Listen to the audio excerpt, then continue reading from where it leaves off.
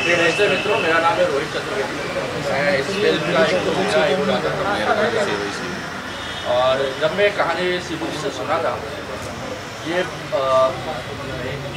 एक बोलेंगे गाँव की एक प्योर शुद्ध कहानी है गाँव में भी अशुद्ध कहानी होती है लेकिन ये एक शुद्ध कहानी है दो लड़कियों का प्रेम एक लड़का लेता और उसमें दोनों को प्रेम किस तरीके से वो करेगा वो आपको आगे जाके देखने को मिलेगा और एक और बात मैं आपको बताऊँगा। इस फ़िल्म की जो संगीत है बहुत ही लाजवाब है बहुत मधुर है।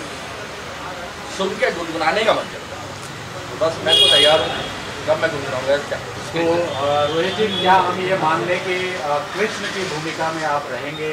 दो लड़कियों से काम नहीं चलेगा सोलह हज़ार रानियाँ चाहिए एक बार मैंने सपना देखा था कि मैं किशन खन्ना का रोल प्ले कर रहा हूँ और लड़कियाँ नाची चालू है। तो शायद मुझे अच्छा सच हो गया। वन ईयर हो गया। मुझे एंट्री फ़र्स्ट मूवी मेरी टीनेजर लव स्टोरी जिसमें हमारे सीबू सर भी थे और ब्रजभूषण उसमें ब्रजभूषण जी उसमें डायरेक्टर रहे थे। काफ़ी अच्छा वो कॉन्सेप्ट था टीनेजर लव स्टोरी उसके बाद से धड़ाधड़ धड़ाधड़, आप लोगों के आशीर्वाद और प्यार से बहुत सारी अभी बोल सकती हूँ मैं, सात, आठ मूवी हो गई किसान जी के साथ भी हुई वापसी और फिर अभी जस्ट में करके आ रही जान लेने का। दिनेश जी के साथ जिनको आप बहुत सराहते हैं, बहुत प्यार देते हैं। अक्षरा सिंह जी के साथ काफ़ी अच्छा रहा, काफ़ी अच्छी हमारी बॉन्डिंग बॉन्डिंग रही, काफ़ी अच्छा कॉन्सेप्ट था जानने जी का। सो बहुत मज़ा आया। लोगों के प्यार और आशीर्वाद से करते जा रही हूँ। बस मैं चाहूँगी और गुजारिश करूँगी कि आप लोग अपना प्यार और आशीर्वाद देते देखिए चूँकि क्योंकि ये हमारे किरदार को फिट बैठ रहे थे इसके लिए इन हमारा सिलेक्शन था। ये हमारा और हमारे जो राइटर और जो डायरेक्टर है शिव को ध्यान में रखते हुए हम लोगों ने इन दोनों को सेलेक्ट किया। ऐसा क्यों किया आपने?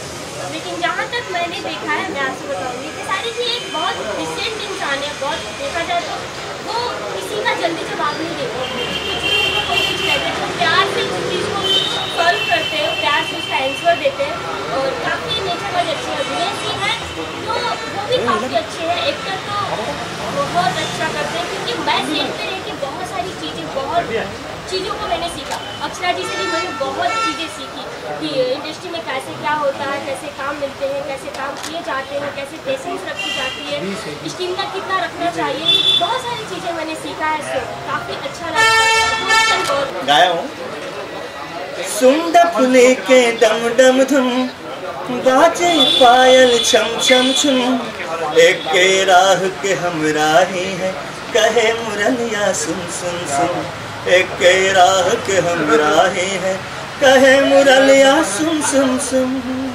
Thank you sir thanks to God he as a being good person और मैं भगवान का प्रार्थना करता हूँ उन्होंने मुझे अच्छी तरह से, उन्होंने मुझे नवाजा है।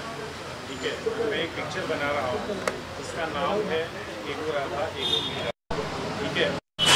जिसमें हमारे मुख्य कलाकार, मिस्टर रोहित हैं।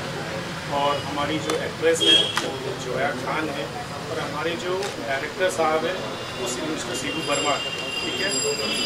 हम एक सांस्कृतिक, अपनी संस्कृति को बचाने के रखने हेतु और हमारी जो परंपरा है, जो भोजपुरिया परंपरा है, उसके हिसाब से एक अच्छी सी पिक्चर बना रहा है, ठीक है?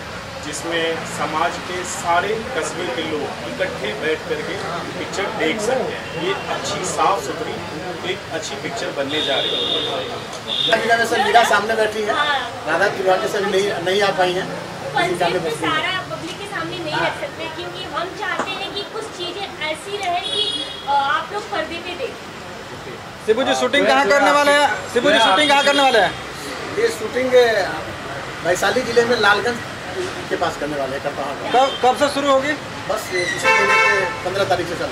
म्यूज़िक आज म्यूज़िक से रिकॉर्डिंग कर रहे हैं। म्यूज़िक के बारे में क्या स्पेशल है? जी सॉरी म्यूज़िक में स्पेशल क्या होगा इस बार आपका?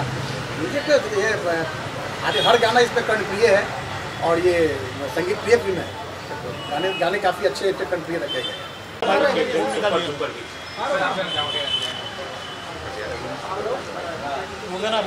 एगो राधा एगो मीरा टाइटल बहुत ही खूबसूरत है। ज़ाहिर सी बात है कि एक बहुत ही खूबसूरत लव स्टोरी फ़िल्म होगी। इस फ़िल्म से जुड़े सभी लोगों को निर्देशक प्रोड्यूसर कलाकार, सभी लोगों को मेरी तरफ़ से ढेर सारी शुभकामनाएँ। Thank you